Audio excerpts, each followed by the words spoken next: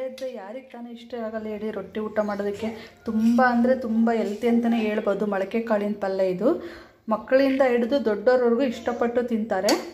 ಆಗಲೆಲ್ಲ ತರಕಾರಿ ಪಲ್ಯ ತಿಂದು ಬೇಜಾರಾಗಿದ್ದರೆ ಈ ಥರ ನಾವು ಮಡಕೆ ಕಾಳಿನ ಪಲ್ಯ ಮಾಡ್ಕೊಂಡು ತಿಂದರೆ. ಹುರುಳಿಕಾಳಿನ ಮೊಳಕೆ ಕಾಳಿನ ಪಲ್ಯ ಇದು. ತುಂಬ ಅಂದರೆ ತುಂಬಾ ಟೇಸ್ಟ್ ಇರುತ್ತೆ. ಗಮ್ಮಂತ ಸ್ಮೆಲ್ ಬರ್ತಾ ಇದೆ ನೋಡಿ. ನಾನು ಇಲ್ಲಿ ಬೆಂಡೆಕಾಯಿ ಚಟ್ನಿನೂ ಮಾಡ್ಕೊಂಡಿದ್ದೀನಿ. ಮತ್ತು ರೊಟ್ಟಿ ಮಾಡ್ಕೊಂಡಿದ್ದೀನಿ. ರೊಟ್ಟಿಗೆ ಒಳ್ಳೆ ಕಾಂಬಿನೇಷನ್ ಇದು. ಖಡಕ್ ರೊಟ್ಟಿಗೂ ತುಂಬ ಚೆನ್ನಾಗಿರುತ್ತೆ. ನಾನು ಬಿಸಿ ಬಿಸಿ ರೊಟ್ಟಿ ಜೊತೆ ಮಾಡ್ಕೊಂಡಿದ್ದೀನಿ. ತುಂಬ ಅಂದರೆ ತುಂಬಾ ಟೇಸ್ಟ್ ಆಗಿರುತ್ತೆ ಇದು. ಹಾಗಾದರೆ ಈ ಪಲ್ಯನ ಯಾವ ರೀತಿ ಮಾಡೋದಂತ ನೋಡೋಣ. ಈಗ ಇದು ಎಣ್ಣೆ ಕಾದಿದೆ. ಈ ಟೈಮಲ್ಲಿ ನಾನು ಸಾಸಿವೆ ಹಾಕ್ತಿದ್ದೀನಿ. ಒನ್ ಟೇಬಲ್ ಸ್ಪೂನಷ್ಟು ಸಾ ಸಕ್ಕರೆ ಚಟಪಟ ಅಂತ ಸಿಡಿತಾ ಇದೆ. ಈ ಟೈಮಲ್ಲೇ ನಾನು ಈರುಳ್ಳಿ ಹಾಕ್ತಾಯಿದ್ದೀನಿ ಸ್ವಲ್ಪ ಈರುಳ್ಳಿ ಕಟ್ ಮಾಡಿರ್ತೀನಿ ಅದನ್ನ ಹಾಕಿದ್ದೀನಿ. ಮತ್ತು ಕರ್ಬೇವಿನ ಸೊಪ್ಪು ತೊಗೊಂಡಿದ್ದೀನಿ ಒಂದು ಸ್ವಲ್ಪ. ಮತ್ತು ಹಸಿಮೆಣಸಿಕಾಯಿ ತೊಗೊಂಡಿದ್ದೀನಿ. ನಿಮಗೆ ಖಾರಕ್ಕೆ ಎಷ್ಟು ಬೇಕೋ ಅಷ್ಟು ಹಸಿಮೆಣ್ಸಿಕಾಯಿ ತೊಗೊಳ್ಳಿ. ಇಲ್ಲಿ ಎರಡರಿಂದ ಮೂರು ಹಸಿಮೆಣ್ಸಿಕಾಯಿ ತೊಗೊಂಡಿದ್ದೀನಿ. ಇದು ಚೆನ್ನಾಗಿ ಬಾಡಿಸ್ಕೋಬೇಕು ಹಸಿ ಸ್ಮೆಲ್ ಹೋಗೋವರೆಗೂ. ಒಂದು ಟೊಮೊಟೊನ ಕಟ್ ಮಾಡಿ ಇಟ್ಕೊಂಡಿದ್ದೀನಿ. ಅದನ್ನು ಹಾಕ್ತಾ ಇದ್ದೀನಿ. ಅದನ್ನು ಹಾಕ್ಬಿಟ್ಟು ಚೆನ್ನಾಗಿ ಬಾಡಿಸ್ಕೋಬೇಕು ಇದು. ಟೊಮೊಟೊ ಸಾಫ್ಟಾಗಿ ಬೇಯಬೇಕು. ಅಲ್ಲಿವರೆಗೂ ಬಾಡಿಸ್ಕೋಬೇಕು. ಹಾಗಾದರೆ ಪಲ್ಯ ಚೆನ್ನಾಗಿರುತ್ತೆ. ಒಂದು ಸ್ವಲ್ಪ ಉಪ್ಪು ಹಾಕ್ತಾ ಇದ್ದೀನಿ. ಉಪ್ಪು ಹಾಕಿದ್ರೆ ಟೊಮೊಟೊ ಬೇಗ ಸಾಫ್ಟಾಗಿ ಬೇಯುತ್ತೆ. ರುಚಿಗೆ ತಕ್ಕಷ್ಟು ಉಪ್ಪು. ನಿಮಗೆ ಎಷ್ಟು ಬೇಕೋ ಅಷ್ಟು ಹಾಕೊಳ್ಳಿ ಉಪ್ಪು. ಹುರುಳಿಕಾಳನ್ನು ನಾನು ಮೊಳಕೆ ಬರಿಸಿರೋ ಹುರುಳಿಕಾಳನ್ನ ಹಾಕ್ತಾ ಇದ್ದೀನಿ ಈ ಟೈಮಲ್ಲಿ. ಹಾಕ್ಬಿಟ್ಟು ಚೆನ್ನಾಗಿ ಮಿಕ್ಸ್ ಮಾಡ್ಕೋಬೇಕು ಇದನ್ನ. ಎಲ್ಲ ಒಗ್ಗರಣೆ ಎಲ್ಲ ಹೊಂದ್ಕೋಬೇಕು, ಚೆನ್ನಾಗೆಲ್ಲ.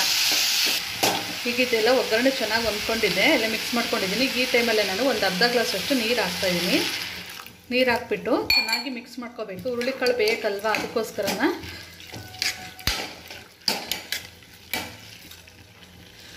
ಸಾಂಬಾರು ಪುಡಿ ಹಾಕ್ತೀನಿ ಒನ್ ಟೇಬಲ್ ಸ್ಪೂನ್ ಅಷ್ಟು ಸಾಂಬಾರು ಪುಡಿ ಹಾಕ್ಬಿಟ್ಟು ಚೆನ್ನಾಗಿ ಮಿಕ್ಸ್ ಮಾಡ್ಕೋಬೇಕು. ಒಂದು ಸ್ವಲ್ಪ ಬೆಲ್ಲ ಹಾಕ್ತಾಯಿದ್ದೀನಿ ಟೇಸ್ಟಿಗೋಸ್ಕರನ? ಬೆಲ್ಲ ಹಾಕೋದ್ರಿಂದ ಪಲ್ಯ ತುಂಬ ಚೆನ್ನಾಗಿರುತ್ತೆ. ಹಾಕ್ಬಿಟ್ಟು ಒಂದ್ಸಲ ಎಲ್ಲ ಮಿಕ್ಸ್ ಮಾಡ್ಕೊಂಬಿಟ್ಟು ಲಿಡ್ ಕ್ಲೋಸ್ ಮಾಡಿ ಒಂದು ಮೂರಿಂದ ನಾಲ್ಕು ನಿಮಿಷಗಳ ಕಾಲ ಹಾಗೆ ಬಿಡಬೇಕು. ಹುರುಳಿಕಾಳು ಬೇಗ ಬೇಯೋದಿಲ್ಲ. ಈಗ ಇದು ಚೆನ್ನಾಗಿ ಹುರುಳಿಕಾಳೆಲ್ಲ ಬೆಂದಿದೆ. ಈ ಟೈಮಲ್ಲೇ ನಾನು ಕುರ್ಷಣಿ ಪುಡಿ ಹಾಕ್ತಾಯಿದ್ದೀನಿ ಒನ್ ಟೇಬಲ್ ಸ್ಪೂನ್ನಷ್ಟು ಕುರ್ಷಣಿ ಪುಡಿ ಹಾಕ್ತಾಯಿದ್ದೀನಿ ಕುರ್ಷಣಿ ಪುಡಿ ಹಾಕ್ಬಿಟ್ಟು ಚೆನ್ನಾಗಿ ಮಿಕ್ಸ್ ಮಾಡ್ಕೋಬೇಕು. ನಿಮಗೆ ಎಷ್ಟು ಬೇಕೋ ಅಷ್ಟು ಹಾಕೊಳ್ರಿ ಈ ಕುರ್ಷಣಿ ಪುಡಿ ಹಾಕೋದ್ರಿಂದ ಪಲ್ಯ ಟೇಸ್ಟ್ ಚೆನ್ನಾಗಿರುತ್ತೆ. ಈ ಟೈಮಲ್ಲಿ ನಿಮಗೆ ಉಪ್ಪು, ಏನಾದರೂ ಸಾಲ್ಟೇಜ್ ಆಗಿದ್ದರೆ ಬೆಲ್ಲ ಏನಾದರೂ ಸಾಲ್ಟೇಜ್ ಆಗಿದ್ದರೆ ಹಾಕ್ಕೋಬೋದು. ಒಂದು ಸ್ವಲ್ಪ, ಒಂದೆರಡು ಟೇಬಲ್ ಸ್ಪೂನಷ್ಟು ಕಾಯಿ ಹಾಕ್ತಾ ಹಾಕ್ತಾಯಿದ್ದೀನಿ ಕಾಯಿ ಕುರಿ ಹಾಕೋದ್ರಿಂದ ಪಲ್ಯ ಟೇಸ್ಟ್ ಕೊತ್ತಂಬರಿ ಸೊಪ್ಪು ಹಾಕ್ತಾಯಿದ್ದೀನಿ ಹಾಕ್ಬಿಟ್ಟು ಚೆನ್ನಾಗಿ ಮಿಕ್ಸ್ ಮಾಡಿಕೊಂಡು ಒಂದೆರಡು ನಿಮಿಷ ಬಿಡಬೇಕಿದು. ಚೆನ್ನಾಗಿ ಮಿಕ್ಸ್ ಮಾಡಿ ಇದು ರೊಟ್ಟಿ ಮತ್ತು ಚಪಾತಿ ಜೊತೆಗೆ ತುಂಬ ಅಂದರೆ ತುಂಬ ಚೆನ್ನಾಗಿರುತ್ತೆ. ಇದು ಮತ್ತು ಹೆಲ್ತಿ ಡಿಶ್ ಅಂತಲೇ ಹೇಳ್ಬೋದು. ಹಾಗೆಲ್ಲ ತರಕಾರಿ ಪಲ್ಯಗಳು ತಿಂದು ತಿಂದು ಬೇಜಾರಾಗಿದ್ದರೆ ಈ ಥರ ನಾವು ಪಲ್ಯಗಳು ಮಾಡ್ಕೊಂಡು ತಿನ್ನೋದ್ರಿಂದ ನಮಗೆ ಶಕ್ತಿನೂ ಸಿಗುತ್ತೆ ಮತ್ತು ಇದರಲ್ಲಿ ಐರನ್ ಕಂಟೆಂಟ್ ಇರುತ್ತೆ. ದೇಹಕ್ಕೆ ತಂಪು ಕೂಡ ಕೊಡುತ್ತೆ ಇದು. ಪಲ್ಯ ತುಂಬ ಅಂದರೆ ತುಂಬ ಒಳ್ಳೆಯದಂತಲೇ ಹೇಳ್ಬೋದು ಇದು.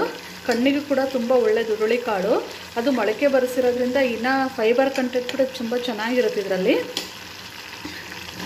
ಈಗ ಇದು ಆಗಿದೆ ಪಲ್ಯ ಈಗ ನಾವು ಸರ್ವ್ ಮಾಡ್ಕೋಬೋದು. ಯಾರ್ಯಾರೆಲ್ಲ ನನ್ನ ಚಾನಲ್ ನೋಡ್ತಾ ಇದ್ದೀರಾ ಪ್ಲೀಸ್ ಲೈಕ್ ಮಾಡಿ ಕಮೆಂಟ್ ಮಾಡಿ ಮತ್ತು ಸಬ್ಸ್ಕ್ರೈಬ್ ಮಾಡ್ಕೊಳ್ಳಿ. Thank you for watching